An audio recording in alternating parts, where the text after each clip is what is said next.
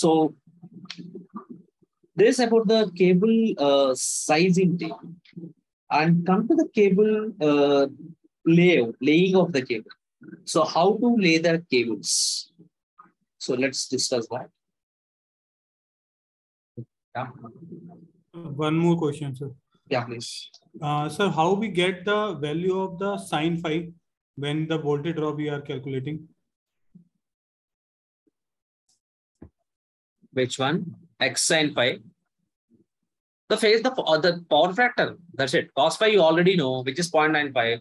Just to take the uh, this reversal of this cos inverse of 0.9, then the phase angle you get, that you just uh, make it for the sine. That's it.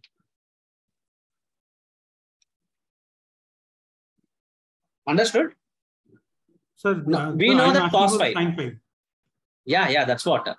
Cos phi, you know, which is 0.95. Got my points? Right. Yeah, now phi equal to cos inverse of mm, 0.9. You will get an angle. That is the angle actually we required, phase angle. Phi is the phase angle. Cos phi is the power factor. Got my point? So Okay. that phase, that phase angle, suppose 35 degrees. So sine of 35 degrees will give you the sine phi. Okay. Got it. Yeah. Okay. So comes to this. Um, so the uh, the routing of the cable. So the routing of the cable uh, generally having so many different uh, types to route the cable. So one they are using the general uh, uh, ground. They are directly burying in the ground or some will install a ladder type cable trays and they are placing and they are running the cables through those uh, trays and some are directly laying on the floor itself. So it's totally depends upon your uh, pro, pro, project cost team so nothing it's a kind of a optimization.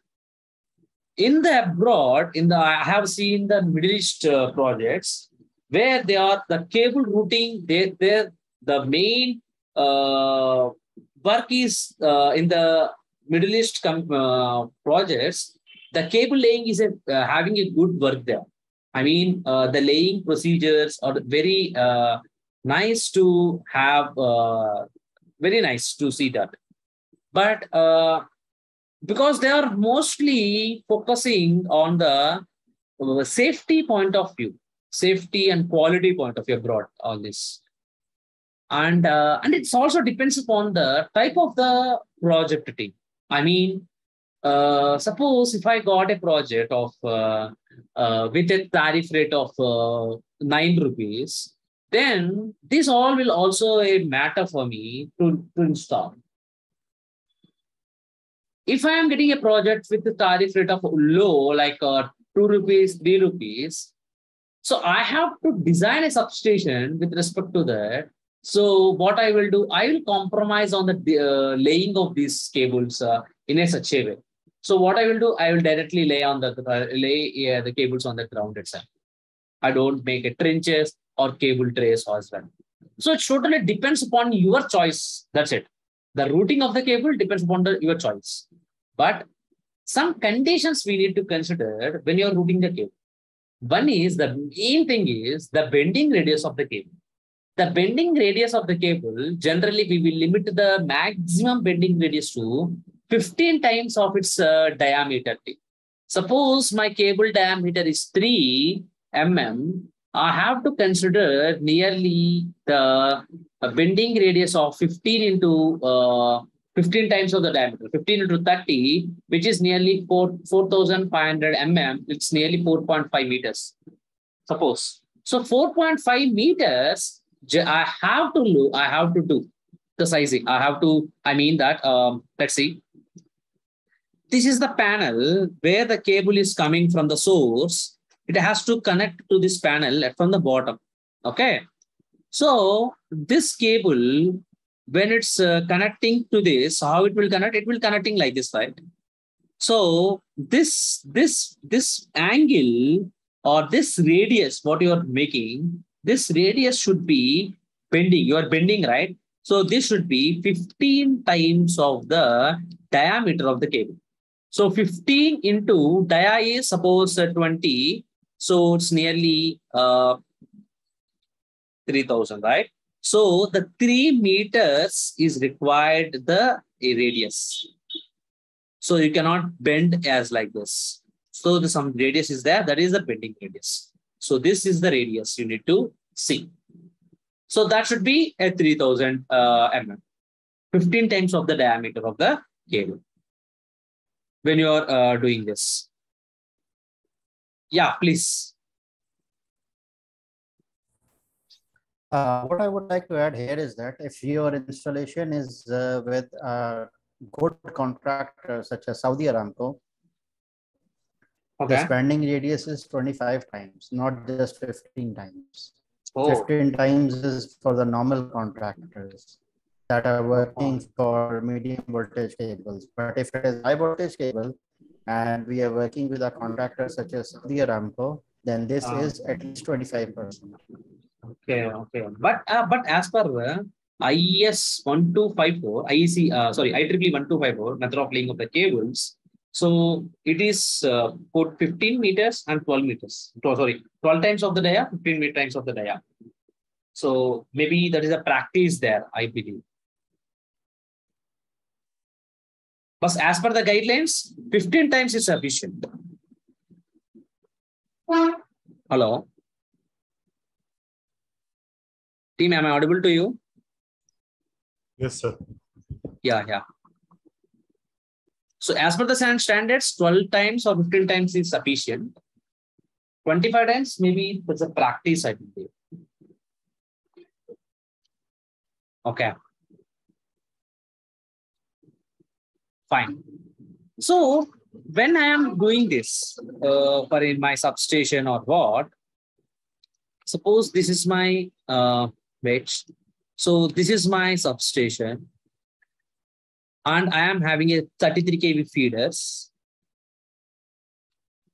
And this is the bus connected. And I am having transformers. And so here I just want to uh, a, have some suppose a control room is there here. So I want to bring all the cables to this control room. I want to bring all the cables from the CTs, PTs, all this. I want to bring all those to this control rooms. So you have to design a cable uh, route in a such a way that where you can see most of the cables are accumulating, there you are you can giving a extra high uh, width of the cable trenches. And when you are moving towards the cable, uh, towards the feeder, particular feeder, there you can have a uh, lower widths of the cable trench. So, and forming like this, the cables, which are pulling from different, different parts. Yeah. So again, this, all the bendings, everything, we have to uh, check with respect to that uh, 12, 12 times of the diameter or 15 times of the diameter, depends upon the size of the cable. And now the method of laying this cable, uh, whether you are directly burying the cables, the burying of the cables we can see in the high voltage levels of the cables like 400 kV, 220 kV, which is a power carrying cables. But for the control and instrument cables and small uh, LT cables, which required a maintenance or uh, needs say some uh, kind of uh, observation so definitely we need uh, we need to see uh, we need a cable trench for carrying these control cables and instrument cables inside the substation. So these cables like 2.5 square mm cable where from 6 square mm 6 square mm cable 4 square mm cables and the instrument cables as well as uh, my um, HT cables like uh, high tension uh, sorry um, auxiliary cables for um, the like for the breaker operation, for the isolator operation, all this. So when you are laying the cables, the the high uh, the AC cables generally we prefer to lay on the down tier. So if I am looking into the trench, uh, let's say here. So this is my cable trench team, uh, which is uh, in the uh, at the FGL, at FGL. This is the FGL, and this is the cable trench. And we are can have a tires of this cable. This is the one tire, two tire, and three tire. Generally, on the low and the least, the last tire, we will lay a power cables, which is uh, like uh, the sending the power carrying uh, the supply for the uh, breakers, isolators as well. And in the middle, we are uh, placing the control cables uh, like CT PT circuits or breaker uh, status indications or isolator indications, the control part. On the top, the communication or instrument cables will come on the top. Will come on the top.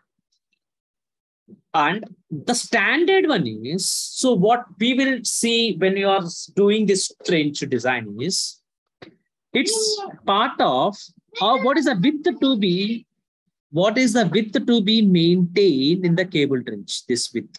What is the width to be maintained? That's the first question I will get, right? And the second question is, what is the depth to be required for this? So it's totally depends on what is the how many volume of oh, sorry the volume of cables coming in this path suppose let's again uh, see our sld uh, like this these are my 33 kV feeders i'm drawing only one one case and this is my transformer okay and this is my uh, control room where all these cables to come now this isolator, breaker, CT isolator. This isolator having two cables, right? So I am having a, I am forming a trench like this. I am forming a trench.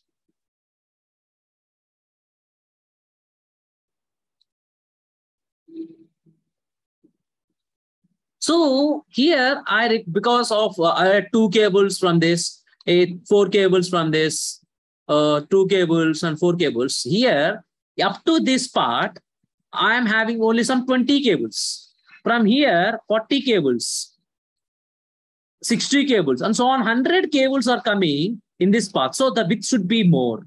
And this also depends upon the ties, number of ties, and the, it will depends on the depth of the cable tray. So I cannot bring all these cables in a three ties in a single tie with a, having a big width. Again, the structure, the land is required more. So what I have to do, I have to dig much and I have to uh, look into the number of ties, like four ties, five ties. So I'm going in a depth way. Uh, I will increase the depth, not the width, because I am not having the land. Yes. So the width and the depth is totally depends upon number of cables uh, coming in that part. So again, number of cables coming is one case. So these cables are placed on some tire, right? Some cable tray. We will call this as a cable tray, which is carrying this. So I have to size the width of the cable tray required. So the width of the cable tray will tell, so this is suppose the width of the cable tray is 300 mm. Okay, suppose I calculated and I found that 300 mm is the cable width, cable tray width. And a person has to, suppose tomorrow, if we want to lift this cable, a person has to enter, uh, as, get down into this trench and has to take this one, right? He has to uh, pull out this cable. So that space we required a general, right? So that space we will assume in a practical case, uh, like 500 mm or uh, 400 mm case. Okay. So this will give a uh, give, gives you the width of the cable tray, which is 300 plus 500 to man entered and to pull. So the total is 800 mm is the width of the cable tray. And suppose now I am having a three tires. Generally, this is the uh, width we will place uh, we will have a 100 mm. Uh, from the bottom, uh, it should be 100 mm. And from the cable to cable uh, tray, generally we will uh, give 300 mm as a spacing. 300 mm. So 100 plus 300 plus 300 plus again on top again 100. So 3, 3, 6, 7, 8. So the height of the cable tray, the depth of the cable tray is also 800 mm. So 800 into 800 mm will uh, carry three tires with a 300 mm cable trench, cable, what we will call, uh, yes, cable trench.